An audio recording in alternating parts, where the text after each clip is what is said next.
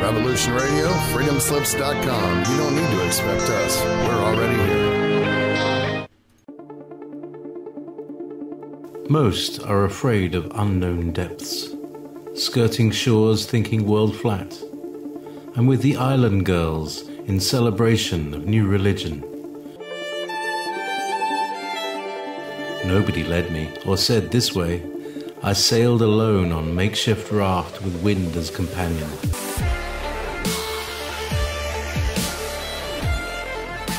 Fate for deliverance, confidence enough to assess new disposition. Seekers of lost paradise may seem fools to those who never sought the other worlds. Welcome to Momentary Zen with Zen Garcia. Visit www.fallenangels.tv. You're listening to Revolution Radio.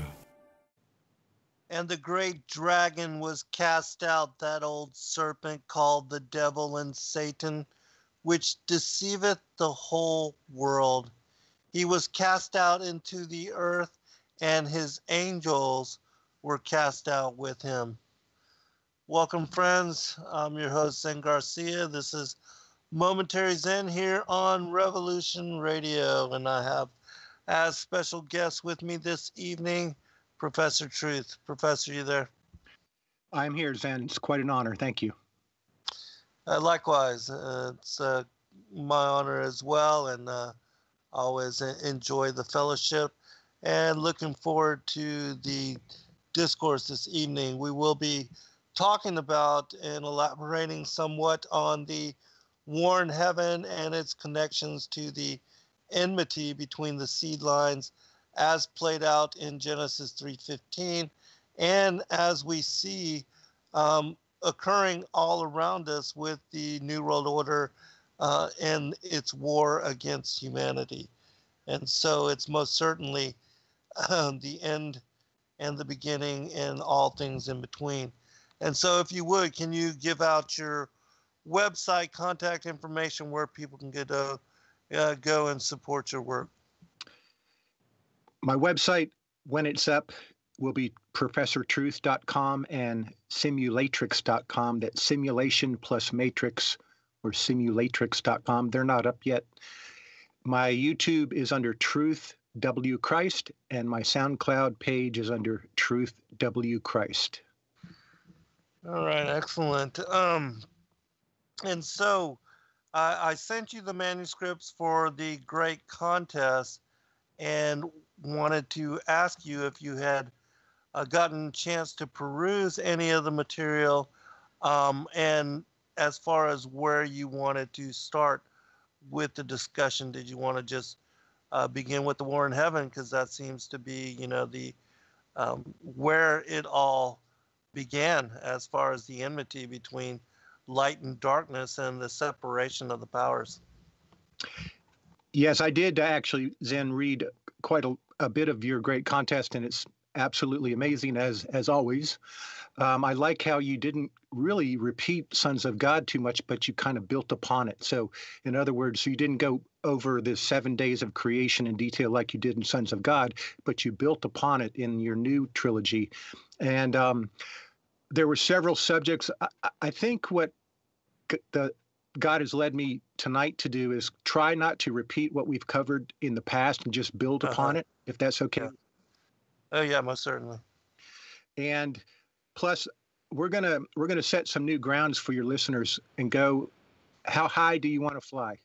Instead of how low do you want to go with most of the Darby Scofield crowd, how high do you want to fly with those that are born from above and uh, truly set free? The truth will what? Make you free. So we're gonna we're gonna go into some powerful things. As far as your book is awesome, Zen. I, I'll just before we get started, I'll just say I really enjoyed your description of the Trinity. You know, Sophia, the Father, the Son of God. Yet you clearly, I was looking for this. You know, I would be. You clearly say they're all one, uh, yet they're all three uh, attributes like Father, Son, Sophia, Holy Spirit. And just like we are, body, soul, and spirit, but we're not three separate people. And I mm-hmm. really mm-hmm. enjoyed your discussion of Yahweh. So one area I have I have a whole lot of show notes, and so I'm going to talk fast as I always do. Um, one area that we can get into, and it depends on how deep you want to go, but I'm ready to go into Yod Vahe, the Tetragrammaton, and explain its uh, 12 strand plus one, 13 DNA strands, but I'd probably want to save that for a little later. But my point is, your book's awesome, and I really enjoyed. I'm I'm, I'm up through the part on uh, Yahweh and the Trinity and and all that sort of thing. It's really really nice. Oh well, excellent. Um, I'm glad that you know that you have had uh, the time to get through some of that material. And since you brought it up, um, I wanted to ask you if it was clear within the book, because um, most certainly I receive a lot of heat for uh, in describing the Holy Spirit as a, a feminine principle, which, in my opinion, it's it it is firmed in the canonical material as well as the apocryphal, which was part of the original 80 book canon of the King James Version of the Bible. But um, if you do the research on this, absolutely it is clear that the Holy Spirit uh, is described as a she. And so I wanted to ask you what you thought about that and whether I was able to uh, bring forth that in, in clarity. God works in threes. There's a Trinity. Oh, although the Trinity is actually not in Scripture for your listeners, but it is a clearly taught concept. And the when I read your book, the the references you use clearly support the feminine aspects of what you call Sophia.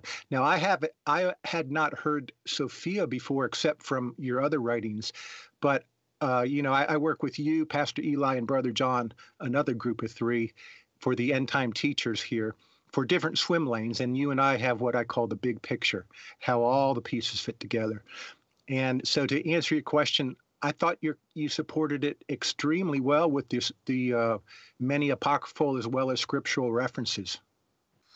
Okay, great. Um, because uh, I know that this is something that is still considered to be radical with regard to uh, scripture. But again, in studying it in in the way that I presented it, um, of course, I build upon the foundation of the canon and the apocryphal text, but uh, certainly this is a biblical concept which is encoded all throughout the ancient manuscripts. And so it is indeed biblical um, and is not antithetical at all uh, to what is taught as concept within the scriptures. And and as you said, with regard to the Holy Trinity, uh, it's not something that is clear, but again, this is also teaching that is encoded throughout the the text, as I show with Proverbs one, uh, three, and eight, and how wisdom, as the Holy Spirit is regarded as having pre existed with Christ and the Father, and that they together represent the nucleus of what is the the human family, uh, the mother, father, and holy child, and that certainly this is also representative with the way that even uh, a male and female come together in holy matrimony and becoming one flesh, then beget progeny uh, to continue the bloodlines. And so all of that is tied to the what I reference as the second phase of the great contest, which is the enmity between the seed of the woman and the seed of the serpent as it plays out uh, until the second advent of Yeshua in his second coming and that at that time the harvest will be uh, separated and the wicked and the, the righteous will be gathered and counted uh, depending on the, their determination uh, with either those that go into paradise and have a um, a return to their first estate or those that are counted with the wicked and the children of perdition. Yeah, and I felt, you know, you mentioned something there that I actually read for the first time in your book, but you know, it when you hear the truth, it just rings true. Let's just put it that way. And your description, which you just went over, which I do remember reading uh, just the last couple days, about the father and the the female aspect and then begotten the son. I was also very pleased that you made a distinction between begotten and created and made. Very few people, most people just kind of ignore the details, but those are very important details. And, and I was very impressed with that. Um, I'll make one comment about the, the, Trinity concept from a quantum physics perspective, and then we're going to really take this jet off the ground if it's okay with you, Brother Zen. Yeah, absolutely. Okay, for your listeners, what what Zen is saying is, and first of all, we've all been indoctrinated by the church beast system, false prophet system, to be more exact. And I'm not saying the people that go to church are bad, and I'm not even saying the leaders are all bad, but many are emissaries of Satan, uh, disguised as uh, teachers of light. So, but what I what I'm saying is, from a quantum physics perspective, Think of it like this: you have think of the let the, the shape of the letter Y, and using wave particle duality, you have each arm of the Y the, the, at 120 degrees apart. One represents the Father, one represents the Son, and one represents the Spirit of Truth Sophia. Now, in a quantum matrix, think of them as light because God is light, God is spirit, spirit is light, but it's a different kind of light, supernatural in a sense. It's it's uh, beyond our understanding. But as they converge at the center of the Y, you, you have zero time. So you have the Father, the Son, and the Holy Spirit going in and out of wave particle duality, but they converge at a concentric circle in the in the center, and that center is a tetragrammaton Yahweh, Yod Vahe. And that's yeah, where absolutely. that's where zero time is and a singularity. That's why God can exist. The Father, Yah- Yahweh, Yod Vahe, which is different than the Father. Yahweh is actually the Tetragrammaton, and, and later or now, I could get into the, the codes. Yahweh is is God. I mean, it's not a computer code, but it's beyond our comprehension. But Yahweh exists at outside of time space and it, but as soon as you manifest as either the father or the son or the holy spirit you have introduced light. And when you introduce light you introduce motion time space. And when you introduce motion and time space now you've introduced dimensional and vibrations. But at the center where they all converge there's a singularity of zero time zero space the eternal i am yeah, absolutely. And uh, I, I I'm glad that you actually brought that up because, in my opinion, in the beginning, uh, as it says in John chapter one, uh, that the Father, Son, and the Holy Spirit pre-existed, and as the Godhead brought forth all of creation from the invisible to the visible, and that everything step down in vibration from its source, which is light. And that that light in stepping down in vibration and and slowing manifested as um, all of what we see in visible creation.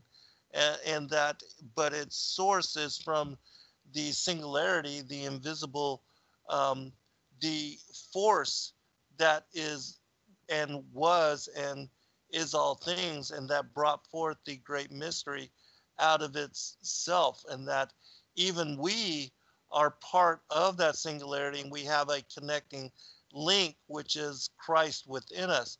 And it's that aspect of ourselves which pre existed with them, and that this is our immortal, um, bright natured self, and that aspect of us that can as long as we accept the grace and the salvation uh, through Christ uh, as our King and our Lord, as our Savior Messiah, that that is the aspect of ourselves which will go back and have a return to our former estate because our inheritance is paradise.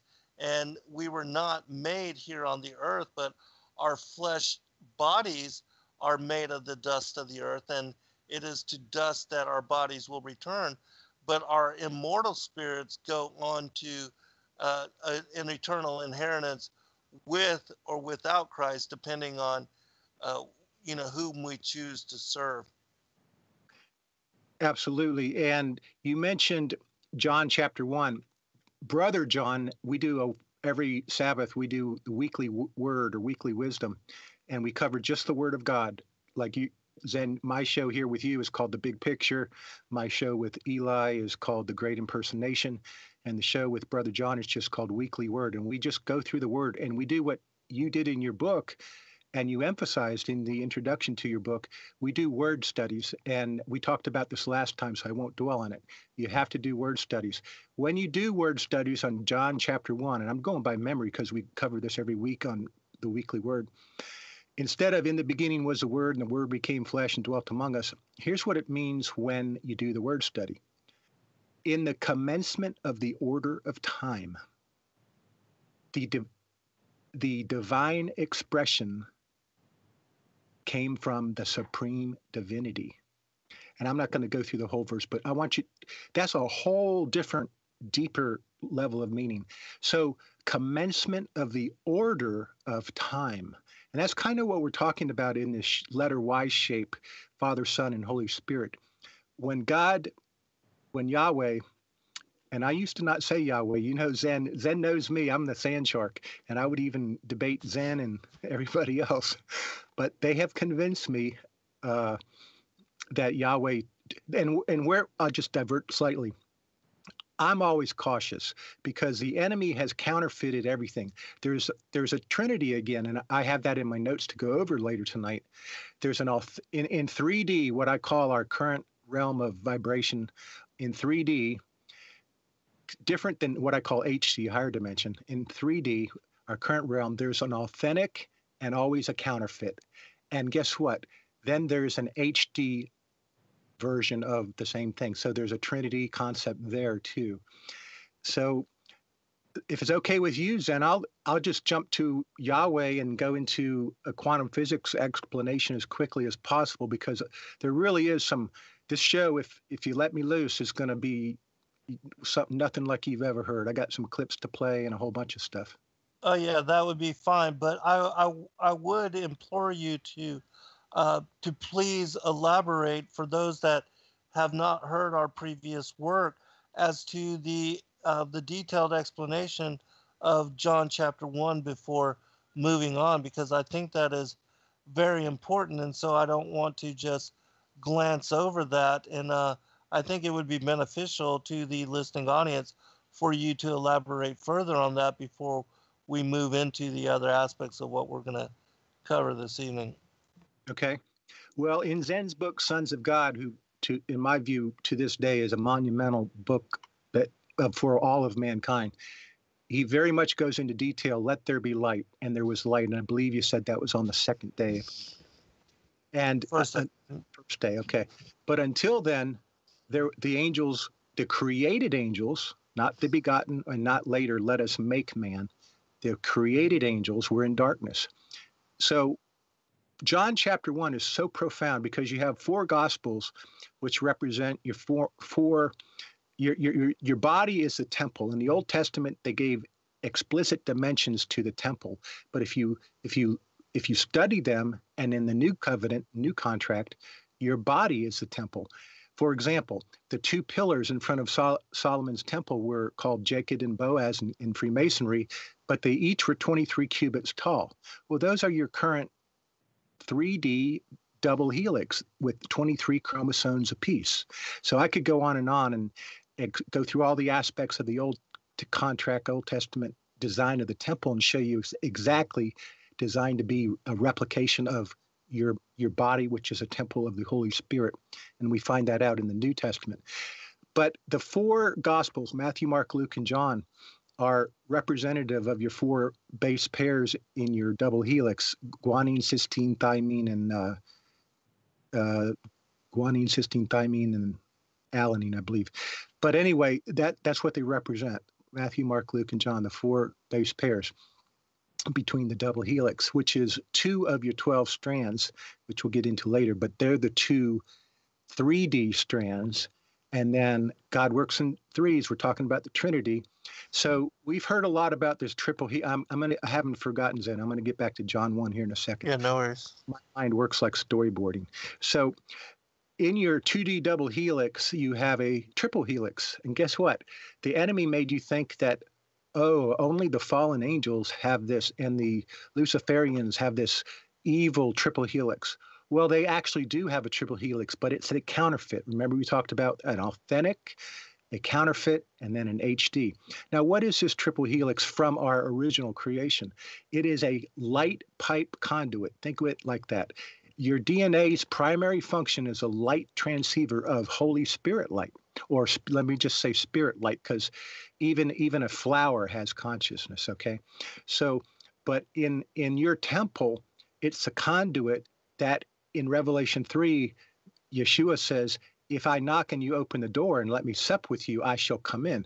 Well, you're dead until you make the free will choice to let to step off our temple of pride and ego and and and in humility let Jesus Christ, Yeshua HaMashiach, step on. And when you do that, that triple helix strand that is resident in all of us, but it's dead. That's why Jesus said, let the dead bury the dead. You're dead until you're activated, and you only can be activated by the uh, uh, Sophia or the Spirit of Truth. But when you're activated, not only are your double helix activated, but you have 10 unseen light codes.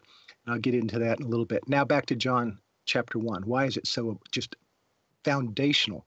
Well, the Gospels also are bringing out different aspects. And I always like the Gospel of John because it's more let's just say, brings out the spiritual truths of the Most High in extreme detail. And in the commencement of the order of time, well, there's your Zen's day one, let there be light. That commencement of the order of time was what? The divine expression. Divine, that means God expression. That means a sh- type and shadow of God was imprinted, blueprinted into our domain. Actually, in that case, it was let there be light into the cosmos. If you look up the word world, it doesn't mean all the people. I'm going to break some of your foundations. John 3:16, God so loved the world that he gave his only begotten son. And, and we're all we're lied to by the church that that means world is people. It has nothing to do with people. World means cosmos, his order of creation in the commencement of the order of his creation and time. And that time initiated with light, the first Christophany, or I guess they call it the manifestation of God begotten as Yeshua, as light. Okay, that is your commencement of the order of time, was the divine expression, let there be light, of the supreme divinity that we're calling Yahweh. Okay? Which started at zero time at the singularity. Does that help, Zen? Yeah, absolutely. Uh, because you know, it. I believe that John chapter one is so deeply profound because it tells you that about the pre-existence of Christ with the Father and the Holy Spirit, and that they together brought forth all things that we see and are. And so they are the source, the force for all that is, the unfolding of the great mystery as uh, we are speaking about and talking about here. Absolutely. So now, Zen and I and the true truth teachers will all be hated, and you're going to hate me more tonight as we go on. But you know, I don't hate you. I love everybody. We're we're taught to, you know, Yeshua told us to even love your enemies. Okay. So I love all of you guys. Zen loves you all, and I know Zen does because I've I've looked into Zen's eyes and only saw love. So last time we covered the foundation of our of Zen and I, uh, my common. Uh, you know, really, this we're I don't even call it research in my case and eh, or Zen's case because wisdom is a gift, faith is a gift, not of our own. But the essential teachings are serpent seed, some in Christian identity or Christian Israel, which I believe is a foundation. Um, it's called two seed line theology, but it's the same thing, serpent seed. And I'm going to play a clip here in a minute that takes us out of the re- realm of theory or you know, Zen's ideas and my ideas or our research. I'm going to play a clip here in a minute that we're going to put this to bed. You know how Zen, I like to put things to bed, at least for those that have eyes to see and ears to hear. You know, in fact, let's Proverbs 2012 says, again, everything's a gift. See, we think everything that we do, you know, come to the altar and be saved. That's just a lie. Proverbs 2012, the hearing ear and the seeing eye, the Lord hath made even both of them. So just the ability to understand and see is is a gift from God based on your obedience to Ecclesiastes 12:13. The whole duty of man is to fear God in love and keep his commandments. So we covered serpent seed last time, which is a foundational doctrine. Because if you don't know Genesis 3:15, really, like we said last time, the war in heaven, which Zeno, by the way, in your your book, you really do an excellent job of describing how you know, when when Jesus was crucified and resurrected, he said, "It is finished, telestai." And at that time, uh, the devil and his angels were cast out of heaven. See, people think this is some future event. No, why do you think the world's so wicked? I mean, uh, wake up, people. It already they're they're here now. Okay, so the essential teachings are serpent seed, the satanic Idumean issue, and the hybrids. That's number one. The number two essential teaching, which Zen and I ha- haven't gone over, but Eli and I go over this, are the 12 lost tribes. Who are they? Where are they? And you'll know them by their fruit. And this includes Zen and others. It includes the, the, the elect, the 12 lost tribes, but also those with the blood of Adam that are here with the, clearly the activation of that triple helix I told you about with this with the spirit of truth. And you'll know them by their fruit, their fruit. And the third essential teaching is really what Zen covers in both his Sons of God and his new book, why we are here at all and the war in heaven and earth. So um, I'll, I'll read one quote and then I'll let Zen comment and then I'll play a clip which will validate serpent seed and then we can move on. And this quote is by a G.I. Gurdjieff. I've never really heard of the guy, but the quote was something I want you guys to ponder because last time Zen and I were pondering amongst ourselves, we we teach and Zen has I mean, amazing teachings. He, he continues daily, weekly, endlessly with profound truth, yet so few respond. And I, I made a quick comment on our last show. Well, that's because then they're not people. okay. Well, listen to this quote. A considerable percentage of the people we meet on the street are people who are empty inside. That is, they are actually already dead. It is fortunate for us that we do not see and do not know it if we knew what what number of people are actually dead and what a number of these dead people govern our lives, we should go mad with horror. G.I. Gurdjieff. I don't know who he is. okay. And I just want to add to that it has been estimated by uh, Dr. David Jacobs and other researchers into, let's just get to the point, into quote, alien abduction, that 80% of the Earth's population has been abducted. And I'll just say that in one of my conversations with Colonel SC, he was on a craft and he saw almost his entire his entire Blessed are your eyes, for they see, and your ears, for they hear. For verily I say unto you that many prophets and righteous men have desired to see those things which ye see, and have not seen them, and to hear those things which ye hear, and have not heard them. Yeshua said, I will open my mouth in parables. I will utter things which have been kept secret from the foundation of the world. Professor. That's a repeat of Proverbs 2012 the hearing ear and the seeing eye, the Lord hath made even both of them. I want to make one upfront statement Jesus Christ is God, my King, my Lord, and every knee shall bow at the name of Jesus Christ. Because I heard a lot of quote New Age, oh, close quote, commercials. And you need to be careful because we're in the truly the judgment time, seconds to midnight, and every knee shall bow. And if you read the book of Enoch, it doesn't turn out well for most. So I'm going to, so I just got through saying that a, a, the reason people don't hear Yeshua HaMashiach Jesus Christ is because they they no longer are people. And I that that clip I have later, which is on clones, and it'll, it'll go into Uh, and this is the first, by the way. This is the first. I have never played. I have a massive private collection, and I'm not stupid enough to play it all for just anybody, or even if I ever will, because that, you know, but 80% of the population is estimated to have been alien abducted. Aliens are fallen angels. Okay. And Colonel SC told me one time he was on a craft and his entire town, just about everybody in his town was on that craft on beds, you know, metal metal tables.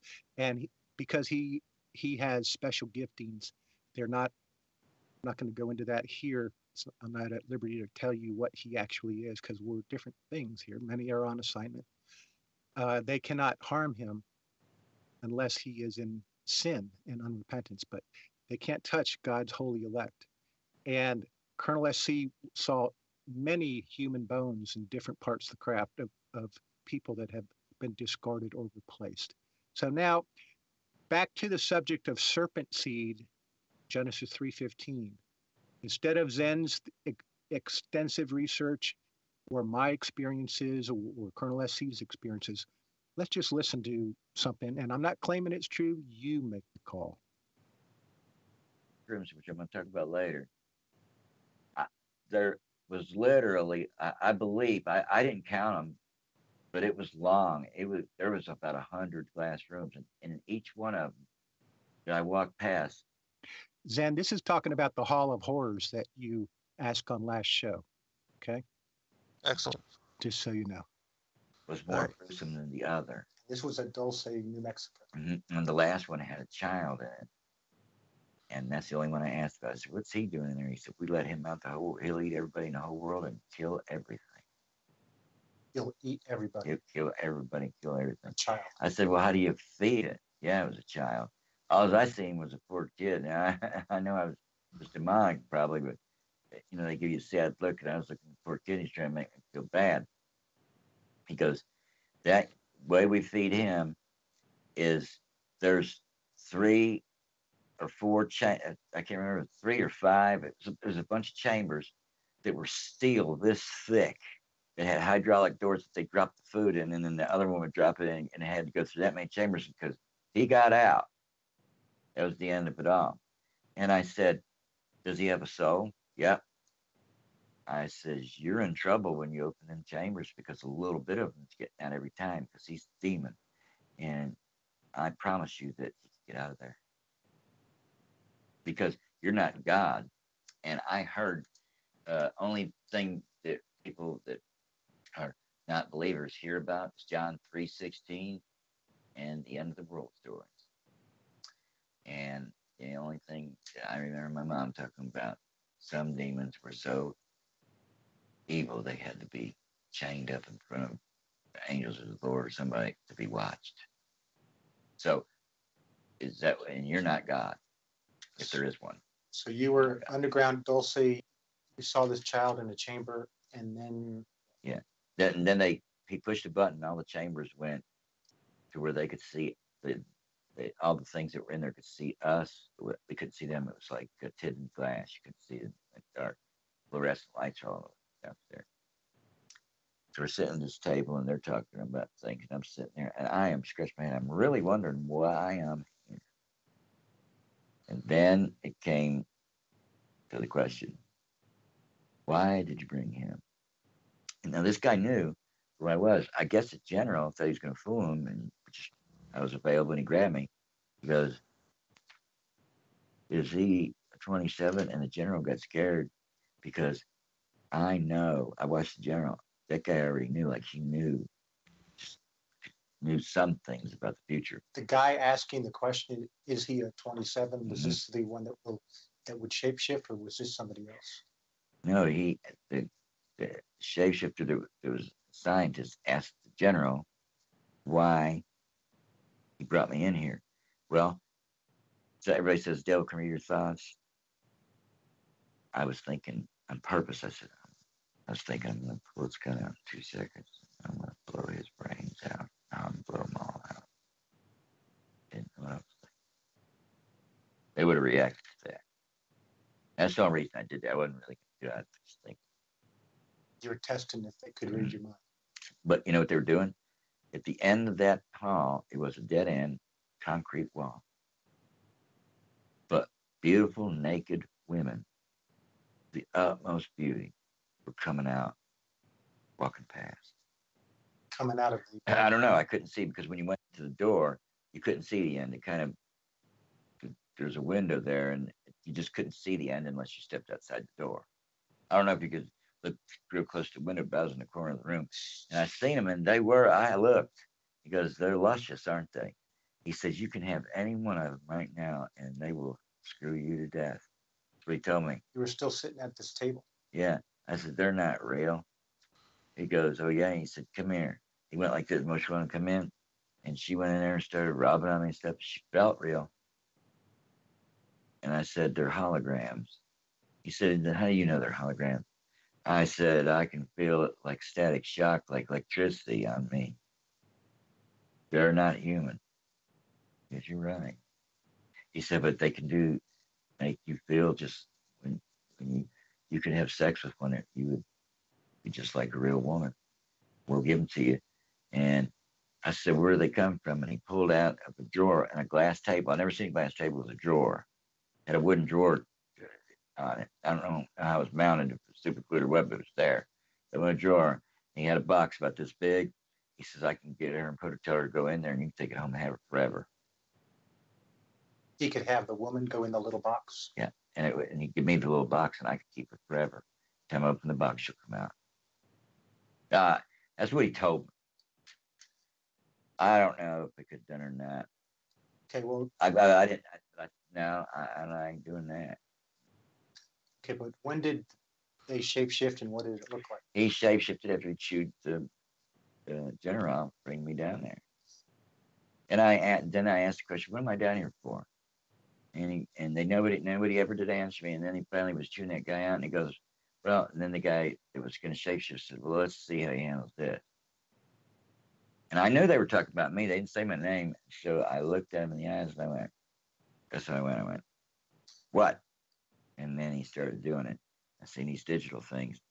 And I wasn't afraid because I seen those women and I knew they were holograms. And I said, he's just a hologram.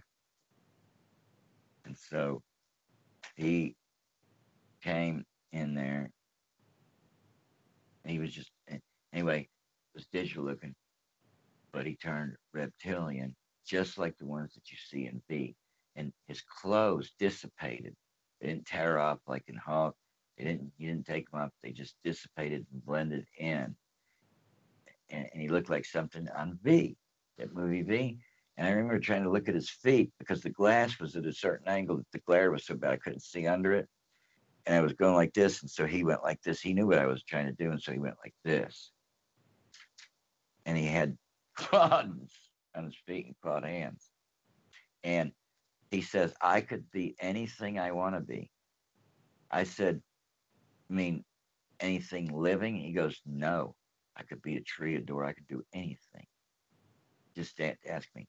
I said, Well, uh, my grandmother always told me to be afraid of the devil and not God. And I don't know which is which, but you know what? I'm not going to talk to you no more. And I said, gave him the finger, and I said, All of you, including you, General, can go to hell. Yeah, you can get in trouble for that. I said, Throw me out, please.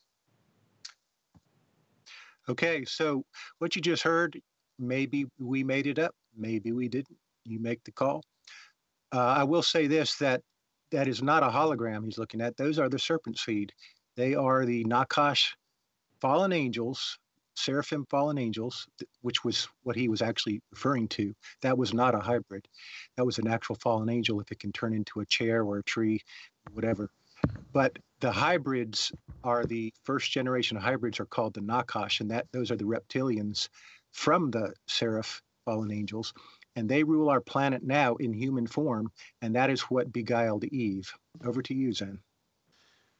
Yeah, this is um a fascinating and interesting um, and it, of course this is absolutely biblical and it falls right in line with revelation 12 with the mention of the dragon that old serpent um, that this is an aspect of the mythology and the biblical narrative which is very difficult for people to wrap their minds around. But when you study the ancient stories, the accounts of the ancient mysteries, that this is the truth which comes forth, which um, also for those that are interested this Saturday, I will be on Now You See TV with David Carrico and John Pounders on the Midnight Ride, and we will be expounding upon the Nachash and the connections of these dragons, seraphim um, type angelic beings, the demonic legion, that this is the the powers, the principalities, the rulers of darkness, the wickedness in high places, which being the eye at the top of the Illuminati pyramid, are in control of all of the organizations and the assemblies of secret societies, these brotherhoods and sisterhoods of of people, uh, and a lot of them, as Paul says, are hybrid, and they are also uh, of the seed of the serpent, and they are descendants, blood relation, as Dan uh, to the serpent, to the devil, to that ancient dragon, as Daniel says. Um, they will try to intermingle themselves among the seed of men. That this is the esoteric aspect of what's really going on here in world. And yes, I know it totally, totally sounds off the wall and just bizarre and beyond uh, imagination or incomprehension.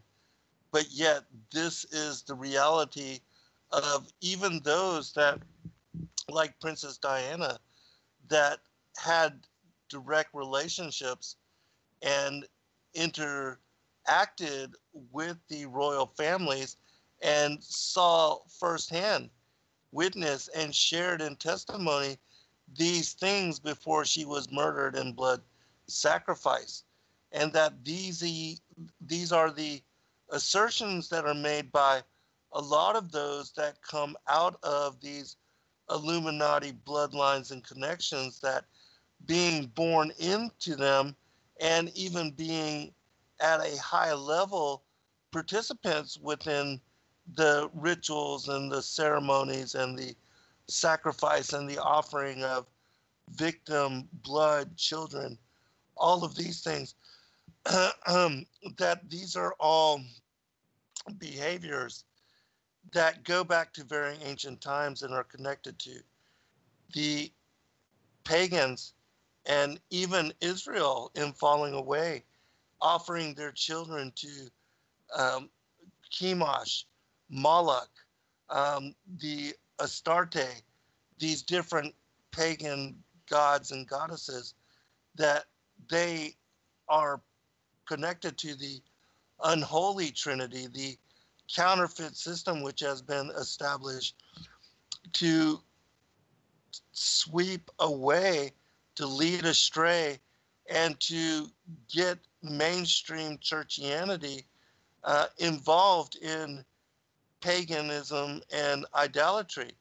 And that this is what is predominant within the mainstream communities, whether they consider themselves to be true believers or not because they are still involved in pagan ritual. They support a pagan calendar system, um, support everything that is counterfeit. Um, you know, as, as far as uh, pagan holidays, all of these things, and so they are led astray and unwillingly, uh, uh, well, not recognizing that they are participating in these kind of things and that um, just as it said in Revelation 12, which I opened the show with, the ancient dragon, that old serpent, has deceiveth the whole world.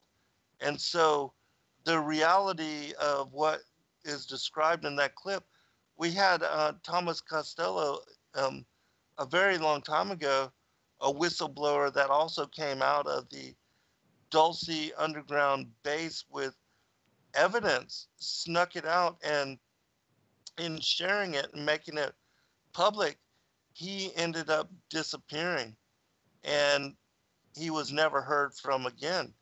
Uh, and then we have individuals like Phil Schneider, which speak about the the government and their interactions with these powers, these um, you know this particular ancient presence, because as I describe in my book, they were here, they were cast out, they rebelled against the Most High God before ever Adam, as modern humanity, had ever even been created. And that the Nachash, that old serpent, is in deceiving Adam and Eve, caused our ancestors to fall and to be banished and exiled here to the earth where they were already um, in presence. And so this is why we see, according to the ancient record and to the archaeological record, we see the worship of the feathered serpent worldwide during the antediluvian times. And this is one of the things that we will be covering specifically in show this Saturday, talking about the worship of the feathered serpent and how, in understanding this, it shows you that indeed the war in heaven, as described in Revelation 12, it's not a future event, but that it had occurred in our very ancient past. And that Enoch describes this as having occurred on the second day, but the rebellion goes back to the first day with the separation of light and darkness, the forces of good and evil. And that's where the rebellion takes place. That when Yeshua was uh, brought forth as the light and given dominion over the angelic hierarchy, that was the cause for Lucifer to find and to be jealous and to have as origin the iniquity within him. And then tempting one third of the angels to join him in rebellion, went to war against Christ and was cast out for it. And that's why they are now banished to uh, below the firmament and are entrapped, encased, encapsulated here until the harvest. And they know that their time is almost up. The blooming of the fig tree, all of that is playing out. And that's why we see in our generation the acceleration of knowledge and the increasing of it in such manner that all of these what sound to be just farcical um, concepts and ideologies coming forth as truth and being confirmed by eyewitness accounts as um, shared by Colonel SC. Amen, brothers. And I I like to use scripture in John 8 38. I speak that which I have seen with my Father, capital F, and ye do that which ye have seen with your Father, lowercase f. Notice how there's a capital F and lowercase f. Uh, details are important. And then in, in Titus 1:10, not giving heed to Jewish fables and commandments of men that turn from the truth. And then in John 8:46, I'm sorry, 8:47, he that is of God heareth God's words. Ye therefore hear them not, because ye are not of God. Doing a word study just on the word of, that's how, how much Brother John and I dig deep on Weekly Word. Ye are not of God. And when you look up word of, Strong's 1537, it has denoting origin. So ye did not origin, originate of God. That's what it's saying. All right, we'll be right back, everyone.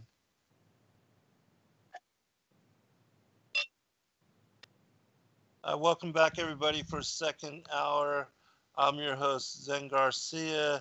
Uh, this is Momentary Zen, and I have a special guest this evening with me, Professor Truth. Uh, Professor, give out your website contact information uh, once more and where people can go to uh, listen to your shows. And also, um, if you are still opening up your uh, your list serve as far as your email uh, updates, um, if people wanted to join that, uh, how they could contact you to do so. Okay, that's fine. My until I get my website going, my email, which people can join my list, is truthwchrist at msn.com. Just send and say enter your list truth Christ at mikesandbc.com. My YouTube is under Truth W Christ, so search Professor Truth, Truth W Christ, kind too. And for SoundCloud, get, get them up quickly. That would be also Truth W Christ SoundCloud. All right, excellent. Um, I want to uh, share a really quick passage. This is from the Sibylline Oracles, and it talks about the great contest, which is part of the premise of what we're discussing here. And then we'll uh, afterwards go into uh, the other portions of what Paul would like to cover this evening. But it says, Days not a few, and then will be displayed from heaven a crown for contest unto men who wrestle, and then there shall be again a mighty contest of triumphal march into the heaven sky, and it shall be for all men in the world and have the fame of immortality.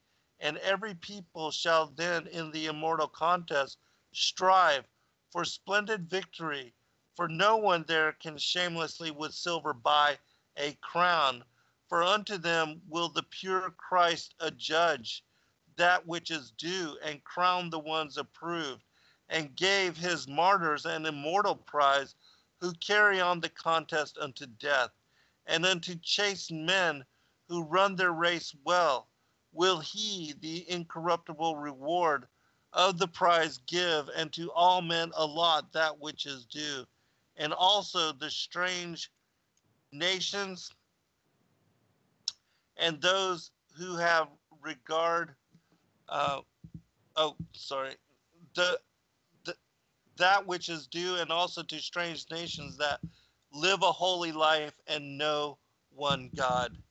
Um, and so we can see that the whole meaning and purpose of the enmity between the seed of the woman and the seed of the serpent is to determine once more our allegiance because it was during our pre-existence and prior to the war in heaven that how we acted and how we behaved and how we uh, cited according to the war in heaven that in my opinion as and as i show in my work is what determined our election for being here and born into certain situation and circumstance in this lifetime.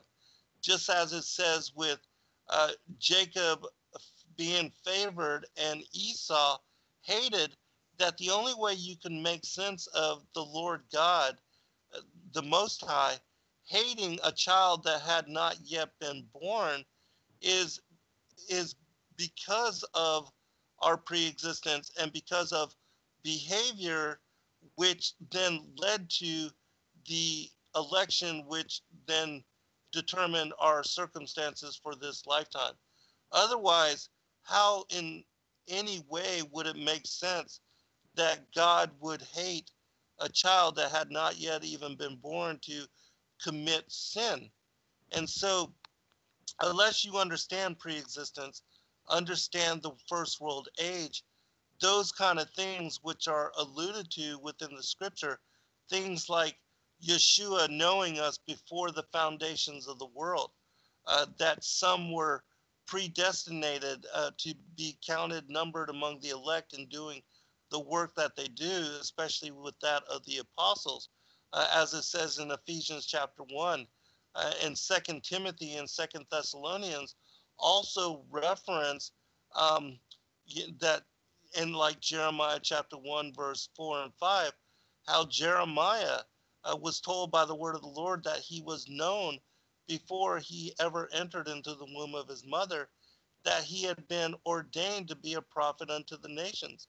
And so these things are very important and critical for understanding who we are, why we are here, and what all of this is really about.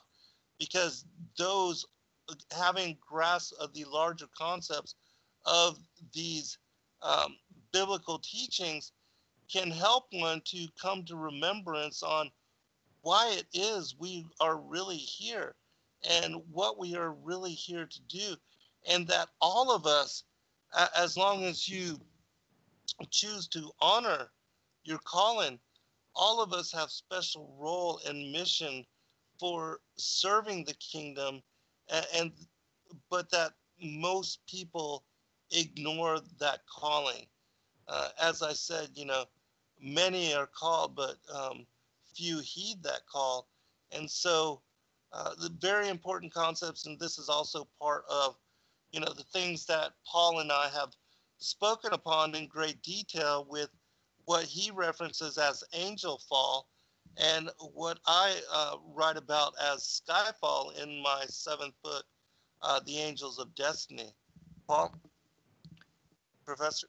Yes, and I intended, I'm not sure we're going to get to it, I intended to go into Angel Fall and Theomatics, the basis later, to show that the Bible is a supernatural book written out time of outside of time and space. But back to your point of whatever verse you read prior to this introduction, during the introduction, it emphasized righteousness and holiness. And during the commercial break, I'm known as a sand shark. I'm not against people, but I'm against false doctrine. During the commercial break, there was a whole lot of emphasis on fear is an illusion of the mind. Fear is just imaginary. You don't need to fear. Well, that would be not what the Bible says. Ecclesiastes 12:13 says, "Fear God." Jeremiah 2:11 says, "Be horribly afraid." Okay, so you got to be careful.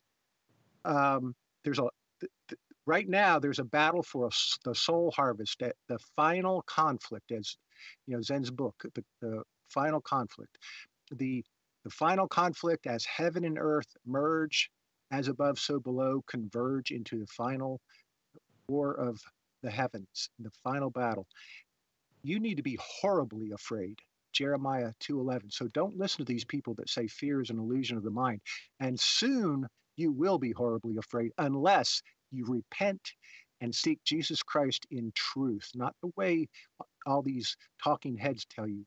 From your heart in repentance. What did Jesus say? Repent and be saved. Okay, so that's all the preaching I'll do for now, but you need to be horribly afraid for what's coming. And maybe I'll play the cloning clip now to, to force that point. Um, Let me make one comment here, really quick, uh, to elaborate just upon what you have said as well. Um, this, a lot of uh, the teachings and a lot of the people that are hosts on this network come from a New Age stance, and a lot of people in the world also teach that we need to depend upon ourselves and humanity needs to to save ourselves. And that's just not going to happen. Uh, that it says within the scriptures that unless the days be shortened, there should be no flesh left. And that the reason why Yeshua had to come into the flesh, be born of a virgin, die on the cross in order to bring a forgiveness of sins to all of humanity, including uh, those that, you know, some that were born into some of these Illuminati bloodlines that come out of it and that accept him as Savior Messiah um, is because he is the way and the truth and the light. And a lot, most of the world will deny this and will be deceived by the New Age theology that says that we can aspire to be gods ourselves and that in doing so we can save ourselves. That is all deception and that is all, um, you know, really part of the counterfeit, uh, the Luciferian, the beast system of uh, there. You know, we don't need a savior Messiah, and that what is taught in the Bible is all um, based on mythologies, and that there were, you know, prior. Uh, some of these pagan mythologies would speak about and and try to put over uh, in, in teaching that uh, Christ had come again as an ascended master, previously as like uh, Buddha or whoever, uh, but that simply is not the case. if you really do your research and you look into uh, all of because there's more written about Christ coming into the flesh, being born, and even the stars, the Mazzaroth, the the the story of the twelve constellations in the zodiac, they talk about his being born of a virgin, uh, as it says in Genesis chapter three, that he would be the the fulfillment of the seed of the woman crushing the head of the serpent. That this is what is depicted and um, shown and encoded into the stars, and that he was the one that fulfilled all of the prophecies as laid out within the scriptures, and the fact that they are 100% accurate, uh, and that all of them have been fulfilled in the manner that they were laid out by the apostles, the prophets, and the patriarchs, uh, hundreds and sometimes even thousands of years in advance because uh, even Adam was told when he was cast out of paradise that Christ would come into the flesh to redeem him and to rectify the fall. Uh, the fact that all of this um, is prophetic shows that the gospel was inspired by our Creator, uh, the one that established the creation and made us in His image. And so um, there's no denying this once you do research on it. Uh, it the Bible affirms itself as absolutely accurate, um, Professor. And then if you want to play that clip. Yeah, these breaks come quick on the show. So you made yeah, a you made a comment about Esau and Jacob. I loved Esau. I hated, and kind of like I say with Pastor Eli with Christian identity, he's 100% complete, but I mean correct, but not 100% complete.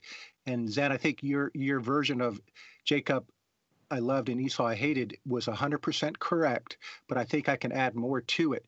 And what and that more is God saw into the future that Esau would would commit a grievous sin, which which is breeding into the only cursed seed line of the serpent that is in the book of Obadiah. There's only one cursed bloodline, and it's the Edomite, Idumean Canaanite. And Esau, perp- knowingly, willfully, married into that bloodline, and you get your blood from the father. And therefore, that's God knowing the future that his holy seed would, would pervert itself by marrying into the only cursed bloodline, Edomite. Um, that's why he hated Esau also, in addition to the reasons pre You also mentioned the fig tree. I, I don't want. I, am only going to mention one thing. Remember, I said there's an authentic and counterfeit. Most people believe. You're you're not coming in clear, and I think it's because you're talking too fast. Slow down just a little bit. Um, trying to get a cutting out. Can you hear me now, Zen? One, yeah. Uh-huh. Okay, the fig tree generation, there's two, a counterfeit and a holy. The holy actually is based on the 745 BC dispersion of the 12 northern tribes. There was 10 northern tribes, but Judah and Benjamin joined them.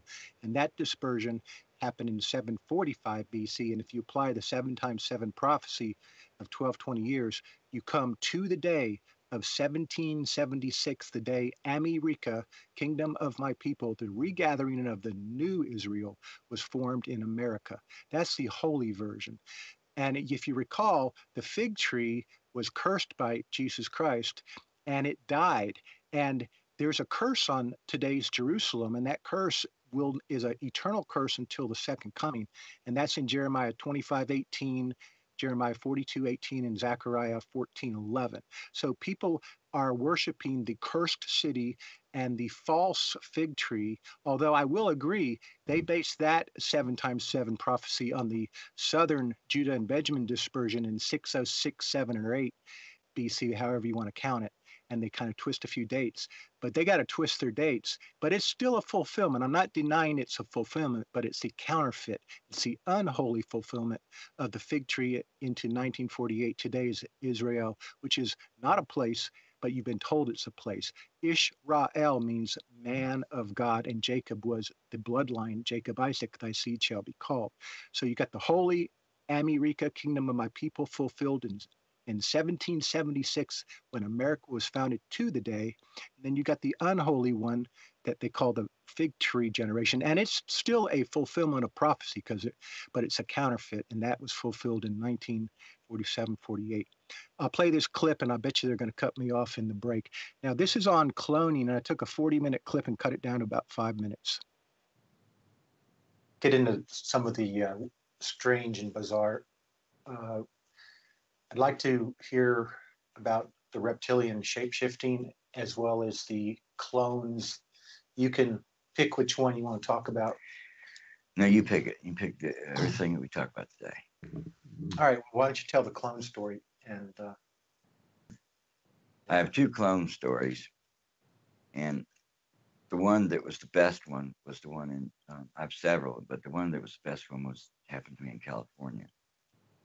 And again, I don't know where I was in California. I knew I was there, and that was the bad part about my job. I rarely knew where I was at. I sometimes could tell I was in the United States, but I couldn't swear to it. But this time they told me where I was at, California. There was a Marine base there at that time. That's what they told me. And you were a, a sniper. I was a sniper. And they're using sniper guards everywhere at their base now. Why do you think they're using sniper guards? Because the signs aren't good enough anymore. And they will shoot and kill you, even children. So obey them. But anyway, I was at this base and I was told there was a lieutenant colonel and his wife. They had seen some strange things coming in and out of this base because we have people not from this world. Really. And he said, we also have clones. I really didn't. I knew the mm-hmm. clone meant. I said, what do you mean by that? We have children, we have people here that look exactly alike, down to the freckle and last hair on their body. And we can make a hundred of them or one of them off of an original body. Is the original body alive? Sometimes yes, sometimes no. The dead bodies are suspended in a fluid with all kinds of lines up to their head. And we keep them alive only to use the brain, even though they can't function. The brain is a memory chip that retains information, and we are learning how to extract it. And I shook my head. I said, That's enough. I said, What do you want me to do with this colonel? He goes, He has the clearance, but we didn't want him up here. So we are going to let him up here and not show him everything. He already knows about the alien agenda, so where we're going to take him. And he's going to have his wife, and they're going to be coming up in a Cadillac. It'll be a pearl colored one. And they're going to be a light. You know where the light is? I go, yeah, it's about two about two clicks away from where the entrance is. When he comes, that's where we tell you when it's green, it's okay. When it's yellow, you look at it and report to us too and tell us what you see. But if it's red, you shoot to kill the minute you see the first thing coming around that corner. I said, okay. So I sat and waited. So what was what was the thing turning green, yellow, or red? It was just like a street light. And what it was was uh, because there was more than one sniper, like I told you these days. And it, we at this base, just like S4, not Area 51, but S4, we knew nobody's allowed up there. Now you see some civilian driving up there, you know, uh, no way, you're not getting in there. But so this... the red, white, and green. So, but they had the visitors that came that were high ranking uh, or in Congress or something. They were allowed to come in there, and the green light meant that let this car go. It's okay. Don't even have to worry about it. The yellow light meant when it was on, it was uh, they were everywhere. When yellow light was on, they want us to look through our scope and report what we seen to confirm what they know. And then they would either turn it green or, or red. If it was red, that means that the next car, I was I was at a place at about 1100 to 1200 yards away. There was a wide curve there. That's all I could see was that curve. And it went almost in a circle. We used to call them butt kissing curves. Came up a hill and around this way here to the entrance. It's red. The next thing, no matter what it is, even if it's an accident, because you're less than anybody, you kill. And I want every sniper, six snipers in your area, and I want I want I better find six holes. You know, and they better be dead. There better be six bullets shot. Okay, so they come around there, and finally, the green light came on. And oh yeah, and before I tell you that, there's a strobe light that comes on first to let you know that something's approaching. And then when it passes the, I guess, laser going across the road, they said it, it what color the light's going to be. And it turned green, and I knew it was that colonel. He said the colonel had gray hair and he's old, and his wife was young and pretty good looking in her 30s. He was in, he's about 60. Now look, and she was better than good looking. I said, yeah, that's them. So I didn't worry about it. Green light. I'm just getting in greater detail, and I happen to think about some of this too because I want to be accurate. Then you must have seen him another time at night. I seen him on where you said a lieutenant uh, had to give you was going to give Yeah. you a signal, and at that time was at night.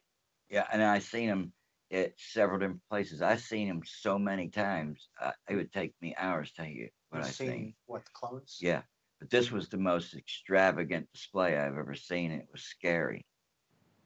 Anyway, they brought it like a picnic table out there, and they were sitting out there, and one of the officers smoked a cigarette, smoked a cigar, and they were drinking wine. Then food was brought out there, and then I guess it was time.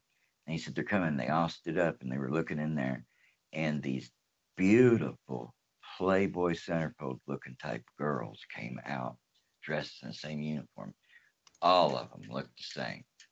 And we were making fun, saying, the man was to have do uh, bigamy, you know, or whatever they call that. Polygamy. Polygamy, more than have more than one wife. That'd be the way to do it because they you know, you know, it's one of them things where, boy, I wish I was drunk so I could see 24 of you. and anyway, they all looked the same.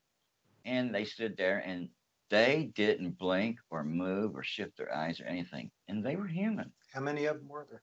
12. They were human. But they looked alike. And three men came out briefly and went back in, and they looked alike. And all of them, including the women, had blonde hair and blue eyes, like an Aryan race. But I'll never forget the beauty. It was awestruck beauty, and I have never and, and any ever seen to this day of women or a woman that would captivate you with beauty like those. And I guess that was part of their skill. You know, I mean, it, you had to hesitate if you seen one.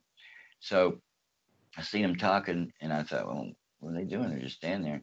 And he was looking at him, and he was, you could tell in his face he was well pleased. So now I'm starting to think, well, this guy's part of the program. He had to be. And they were, I couldn't read the lips of the guy, but he was giving them an order. So I just had to wait. And one of them stepped out, raised the camera so I can stand up. She stepped out of line, clearly, and they all had a 45 in their holster. And she turned and looked at the other one, and they were smiling. And then I lip sync. He said, "Shoot her," and she pulled out her gun. The other one was still smiling, and she shot her, and real blood and brains and everything flew at the back of her head. And she went back in line. Now, don't ever ask me how it works or nothing because I don't want to know. So anyway, that's an, another interesting for your listeners. You could believe it. Maybe we made it all up. I knew the break would come. Over to you. Zach. We'll be right back, everyone.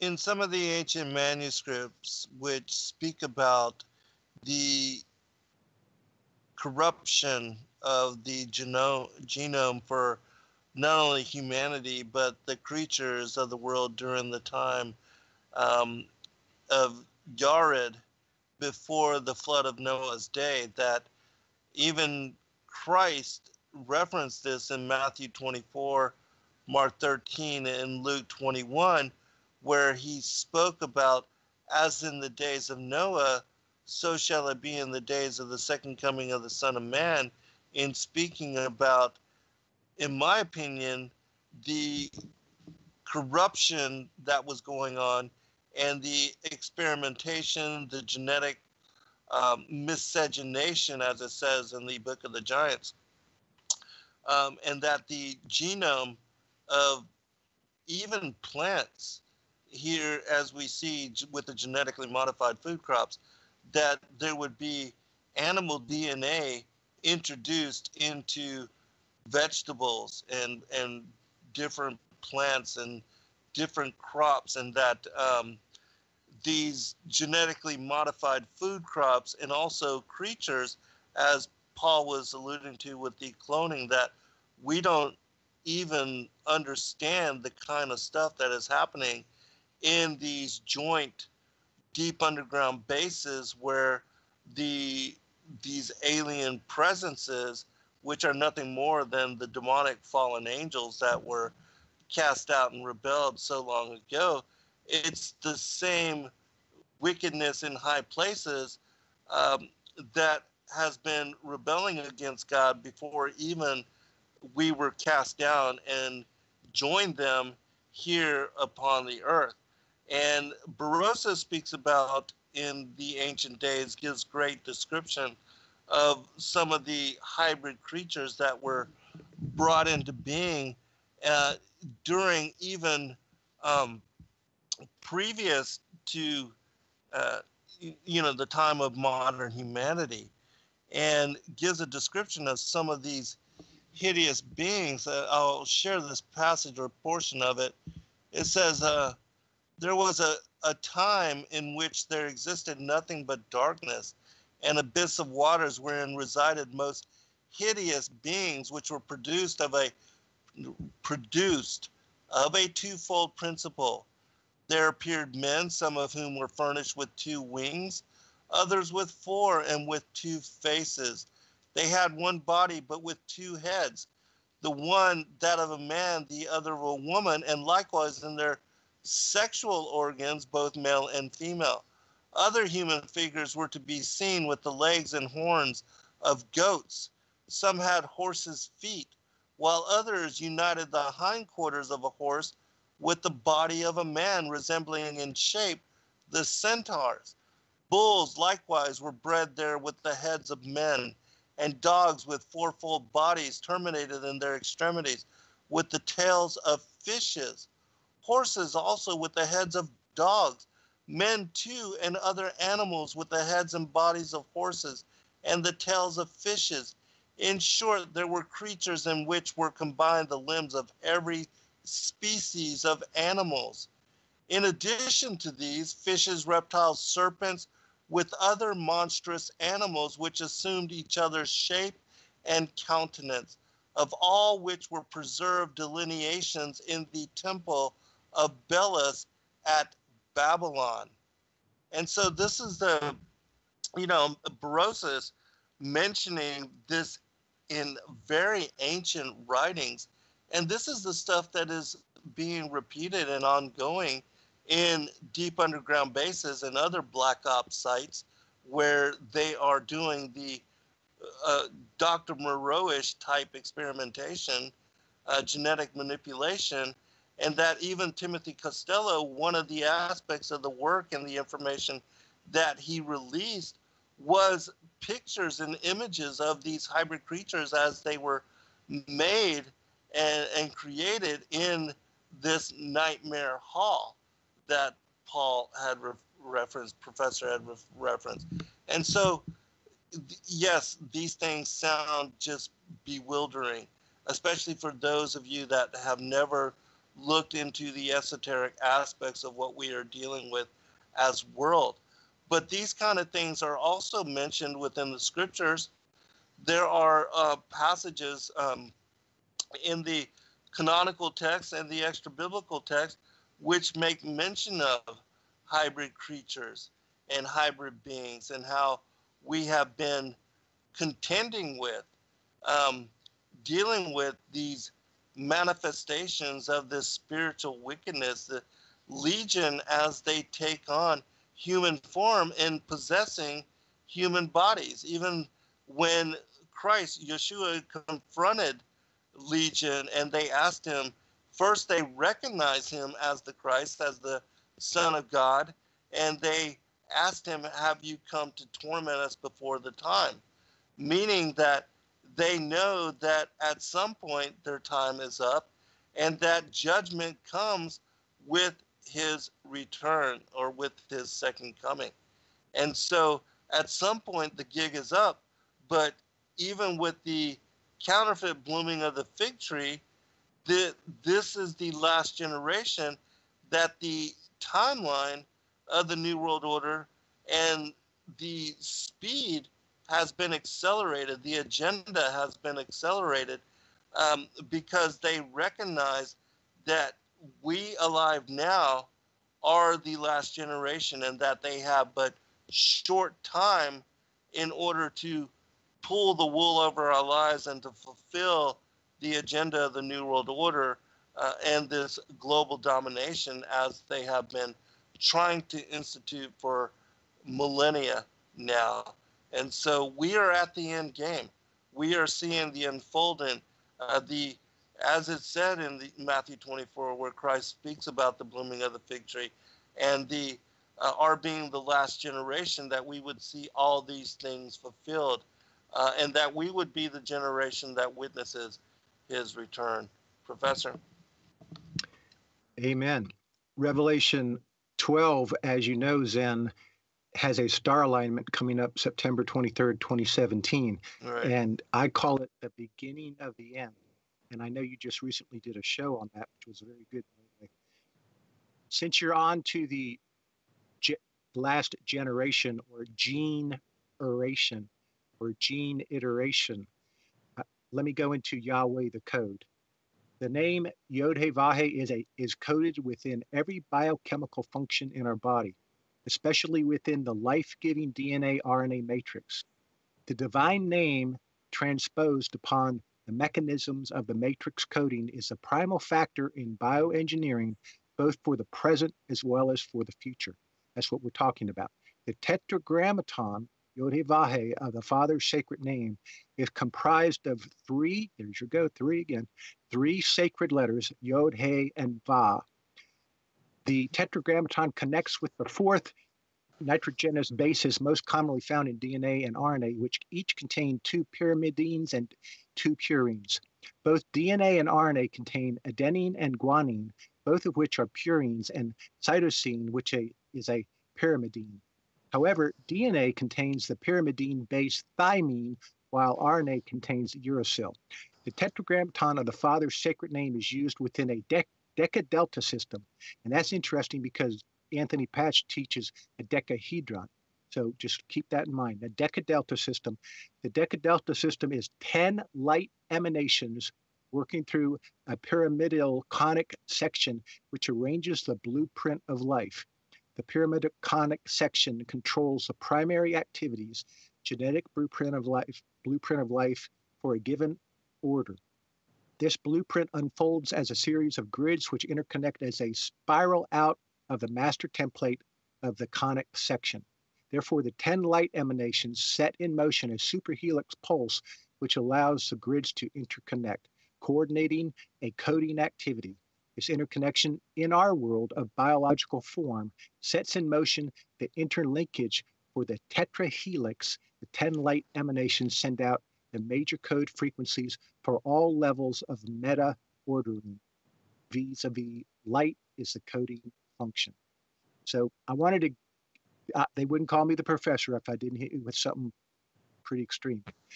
Um, but I wanted to give the science and the quantum physics behind what Zen is saying earlier about light. Can, I, back in the day when I did an interview with Dr. Deagle, we would we would call it light congealing into form, but it's basically the wave particle duality principle, light slowing down, and some people call, call you know in simple terms call it frozen light.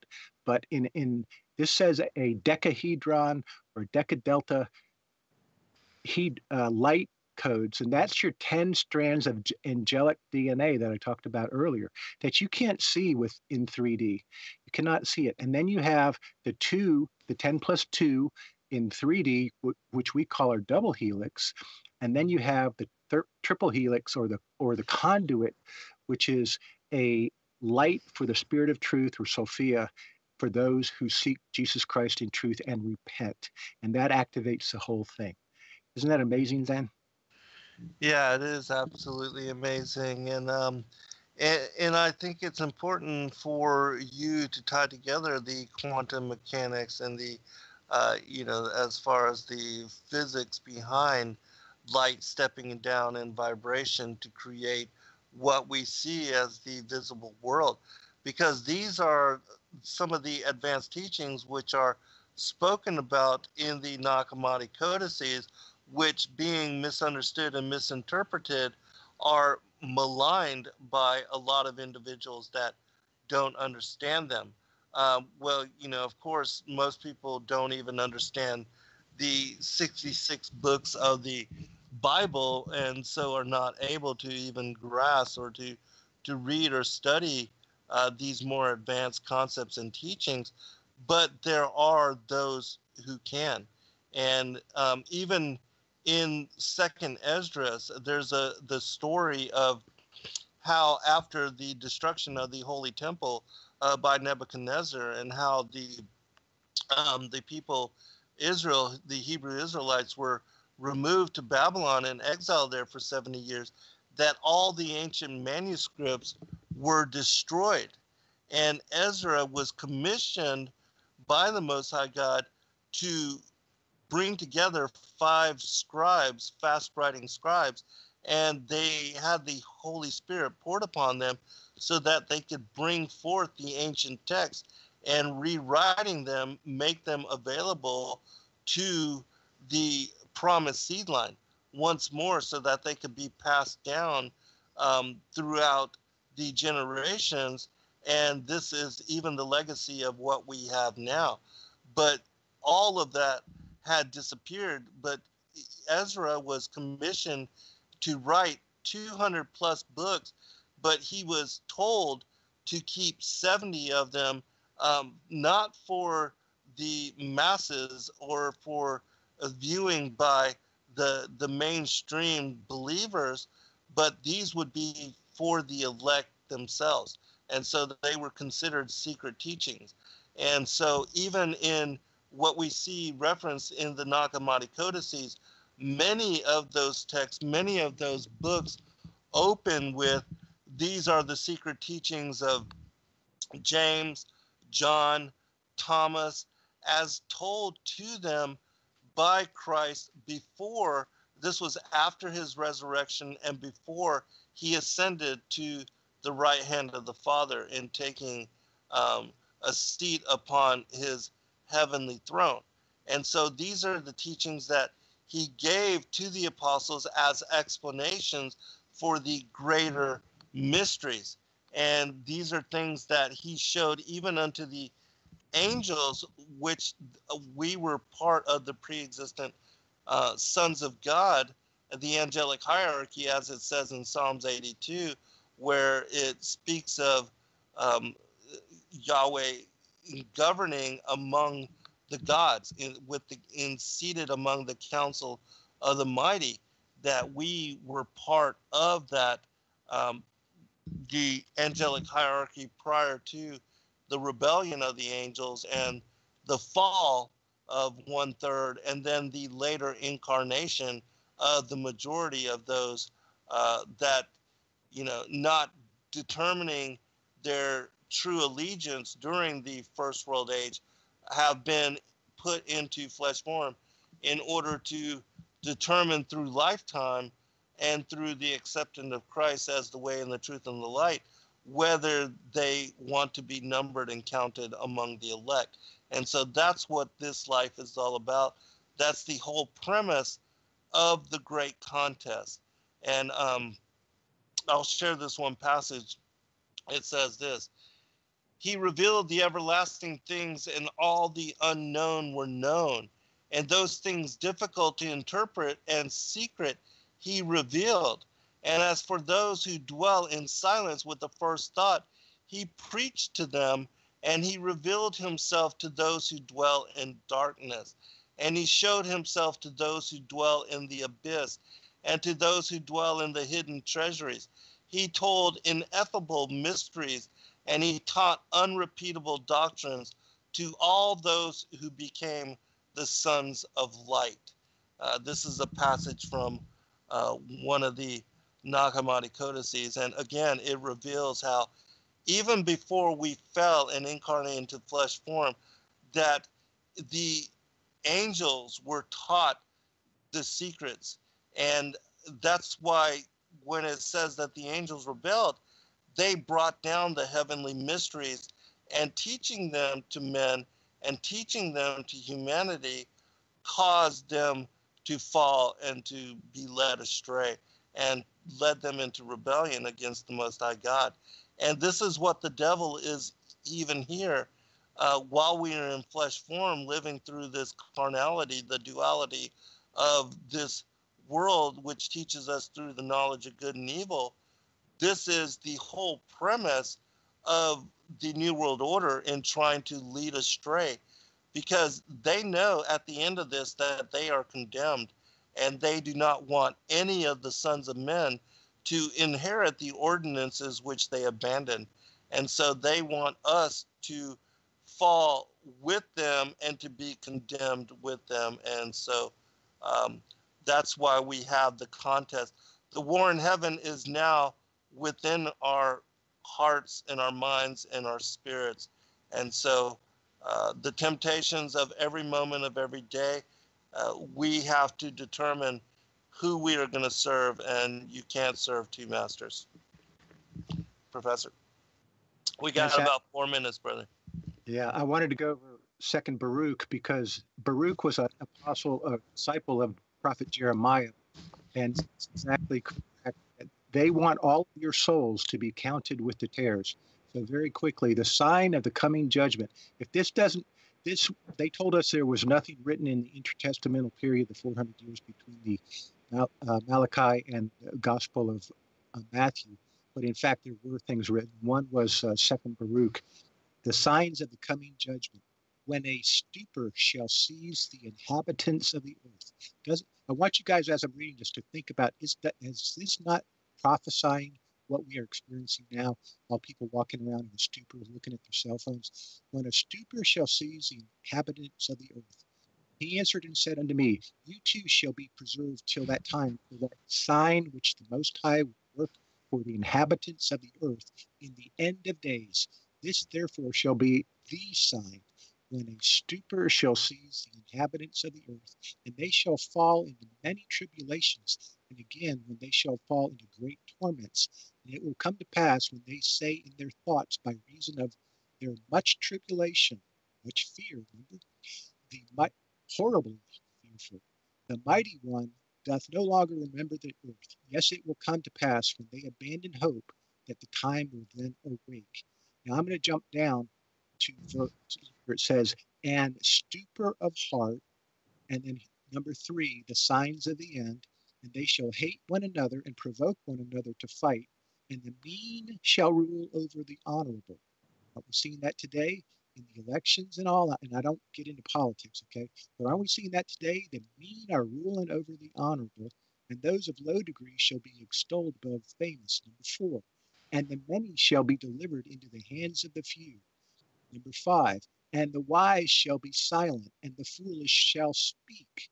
Neither shall the thought of men be confirmed, nor the counsel of the mighty, nor shall the hope of those who hope be confined. Number six, and when those things which were predicted have come to pass, then shall confusion fall upon all men, and some of them shall fall in battle, and some of them shall perish in anguish. Number seven, and some of them shall be destroyed by their own. Then the Most High peoples or elect whom He has prepared before, and they shall come and make war with the leaders that shall then be left. At Psalms 2 is then mentioned. And it shall come to pass that whoever gets safe out of the war shall die in the earthquake. And whosoever gets safe out of the earthquake shall be burned by fire. And whosoever gets safe out of fire shall be destroyed by famine. Number nine, and it shall come to pass that whoever of the victors and the vanquished gets safe out of and escapes all these things aforesaid will be delivered into the hands of my servant Jesus Christ the Messiah. For all the earth shall devour its inhabitants. Brother Zen?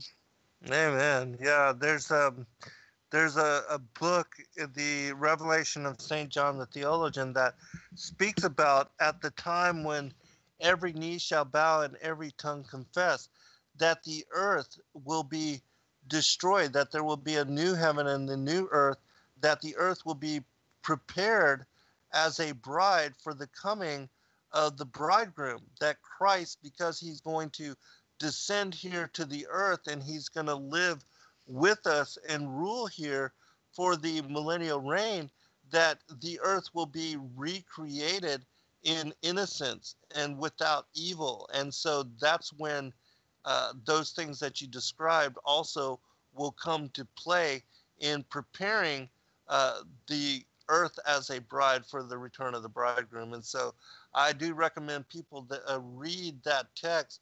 And I was just reading earlier um, the second book of the Sibylline Oracles, where it speaks about the end of the age and it gives great detail as to all of the things that we're talking about here.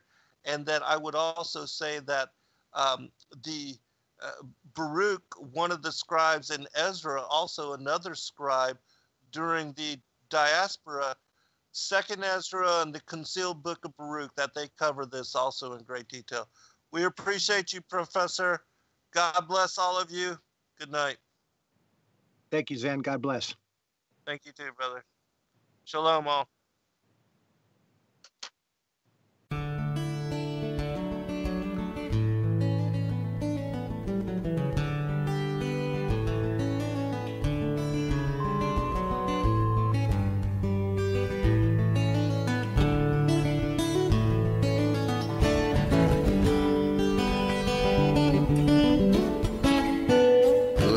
Revolution Radio